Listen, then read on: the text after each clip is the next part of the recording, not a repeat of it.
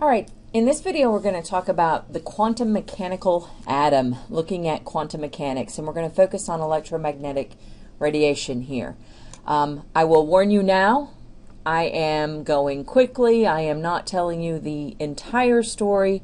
I encourage you to check it out for yourself, uh, but I am going to give you a good brief overview as to why we study this. And the first thing we want to look at is why do we study electromagnetic radiation? And that's because of the pretty colors. We've known for a long time that if you put certain compounds in flames, um, recall from previous chapters that uh, heat is a form of energy, so essentially we're giving these atoms or samples of substances energy. We see pretty colors. The pretty colors that we see are um, a type of electromagnetic radiation, a part of the electromagnetic radiation spectrum. The electromagnetic radiation spectrum includes things that we see as well as don't see. And so, in order to really understand what's going on with the atoms themselves, we have to understand electromagnetic radiation. And so, we're going to start by talking about electromagnetic radiation. Let me just get an image, all right, from the web over here. All right, I pulled an image from the from the web so that we can look at it while we talk about electromagnetic radiation. Um, electromagnetic radiation is a form of energy itself. It is an energy. Um, it has an energy and a wavelength and a frequency associated with it, and it moves at the speed of light. And lambda nu equals c. It's wavelength, and that's why we see the image here, the little cartoon on this row as a wave. It has a wavelength associated with it, and the wavelength varies from very, very short on this end to very long on this end of the spectrum, which is just the display or the listing of the types of electromagnetic radiation. There is a frequency associated with the electromagnetic radiation, so lambda is our wavelength, nu is our frequency. The frequency is a count, like if I were standing still and it was passing me, I would count how many of these peaks that passed me in a given unit of time. Usually we count the number of peaks per second because it moves very, very fast. And then the speed that it moves at is the speed of light. The speed of light um, to three significant figures is 3.00 times 10 to the eighth meters per second. Again, very, very fast essentially 300 million meters per second. Um, this is the fastest speed known, and um, all types of electromagnetic radiation move at this speed in a vacuum. And the wavelength and the frequency of the electromagnetic radiation are inversely related because they both have to always multiply to give you C. So longer wavelengths have smaller frequencies and vice versa. And so one thing that we can do that we may be asked to do on the test is to calculate the wavelength given the frequency or the frequency given the wavelength, vice versa. Um, and they will always multiply together to give you 3 times 10 to the 8th meters per second. And you can find lots of sample problems worked out for you um, regarding that simple plug and chug calculation.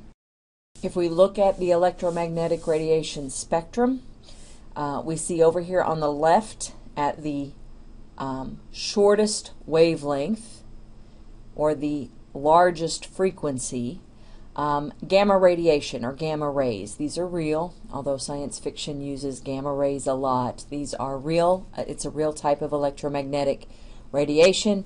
It has uh, a very short wavelength, a very high frequency. It's very damaging to the human body. Uh, we have this out there in the universe, and our atmosphere screens us from the gamma radiation in the universe, although we also have some naturally occurring um, isotopes, some radioactive isotopes that give off gamma radiation, and we have to, to be a little careful and sort of screen ourselves from this gamma radiation um, because it's dangerous. It's, it hurts us. Um, after gamma radiation are X rays um, X ray radiation also is harmful to organic living things, although we have found some use for X ray radiation. Um, X ray radiation uh, is, is such that it will pass through the human body but it will be stopped by things like bones. And so, if you collect the X ray radiation, X ray radiation after it has passed through a human body, you can see where the bones are. And so, we do use this as a diagnostic technique um, to diagnose broken bones and things like that. So, we have found some use for it, but you do want to limit your exposure because it is harmful to humans. Um, we, we limit our exposure to X rays as well as gamma radiation, gamma rays, uh, because of the harm that it does to the human body. Ultraviolet radiation, which is also known as UV, is also harmful to the human body. Uh, again, there's a lot of all three of these types out there in the universe. It's produced naturally um, out there in the universe by the, the, the, stars and the bodies of, of, of um, um, suns out there. Uh, but our atmosphere on this planet screens the uh, har- this harmful radiation um, and doesn't allow it to get, or at least doesn't allow most of it to get to the planet. So we don't have to worry about it, except for on the odd, um, again, radioactive isotope that might be emitting some of these types of radiation. Some of the ultraviolet radiation does get to the planet, and this is actually a good thing. There are lots of plants that need ultraviolet radiation in order to survive, and so the small amount that does get to our planet actually does help um, with the plant life. If the plants all die, we all die. So uh, ultraviolet radiation is good. But again, uh, a lot of it is harmful to us, and so we try to limit our exposure to it. All three of these types of electromagnetic radiation are invisible to the naked eye. We cannot see these types of radiation. They would be in the same room with us and we wouldn't know it. And, and, and actually, it would be bad if they were in the same room with us because they're they're dangerous, they're harmful. Um, this very narrow region, and it's let's see if I can. How much coffee have I had today? This very narrow region of the electromagnetic radiation spectrum, which is one width of my paintbrush wide, is the visible light. This is all we can see as biological creatures with our uh, eyes adapted the way they are and our brains adapted the way they are, this narrow region is what we actually see. And this bottom picture is it blown up so that we can see all of the pretty colors of the rainbow. Electromagnetic radiation in this very narrow wavelength and frequency. Um, if you spread out those wavelengths, you would see the colors of the rainbow. This is exactly what a rainbow is. Uh, white light coming from the sun is giving off this region of the electromagnetic radiation spectrum. Our atmosphere does not screen it out, it passes on through. And it is, we see it as white light coming from the sun, but if we separate it into the various wavelengths with a prism or a grating of some sort, we would see the colors of the rainbow. After a rain, the little water droplets in the air, the moisture in the air, act as a prism uh, to separate the colors and project it, and that's why we see the rainbow. And we always see the colors in this order because they are separated by wavelength. Down here in the blue to purple or violet region um, is the smallest wavelength. Up here in the red region is the largest wavelength. And that is the limit of our vision. This, this area here, this cutoff is a little fuzzy um, different people have varying abilities to see these wavelengths at the extreme, uh, but by and large, this is the region that we can see as humans. Um, as we move a little uh, longer in wavelength past the red area, we get to the infrared area, and the infrared is again invisible to us. We cannot see infrared radiation. Um, the visible region and the infrared re- region of the electromagnetic radiation spectrum, these are not harmful to human beings, and that's a very good thing because the room you're sitting in right now is probably bathed in visible radiation, and infrared radiation is present as well. And these are all around you, and they are not harming your body. Uh, infrared radiation is essentially heat we have um, we have all kinds of devices which will translate the the signal of these types of invisible radiation into something that we can see, like an X ray radiation. We can't actually see X rays, but we can detect them and build an image. And this is typically what we call an X ray, is the image that we see after the X rays have passed through the body. Um, night vision goggles essentially collect the infrared radiation that is invisible to our uh, our eyes and shifts the wavelength of the infrared radiation into the region of visible that we can actually see. And this is how night vision goggles work. Um, as we get to even longer and longer and longer wavelengths, we see radio waves, radar, TV, FM, AM, etc.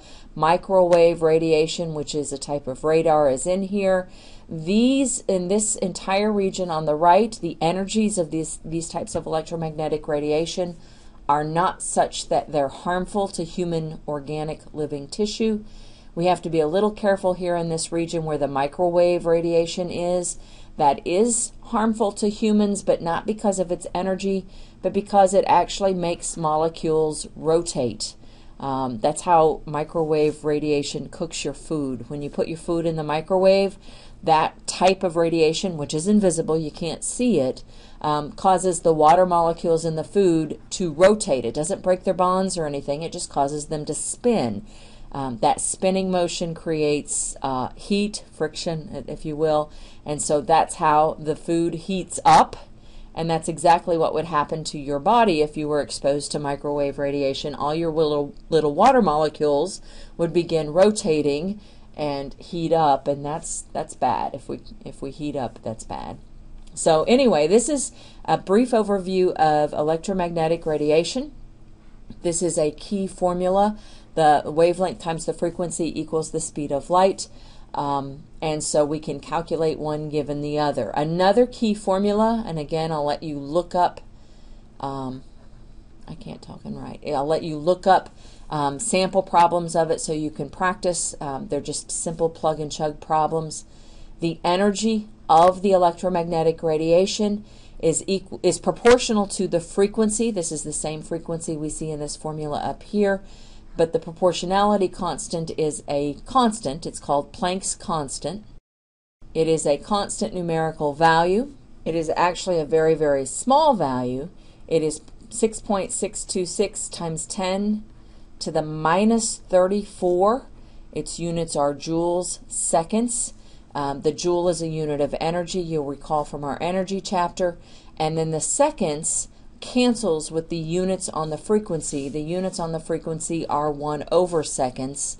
We can um, again see that in the speed of light unit has meters over seconds.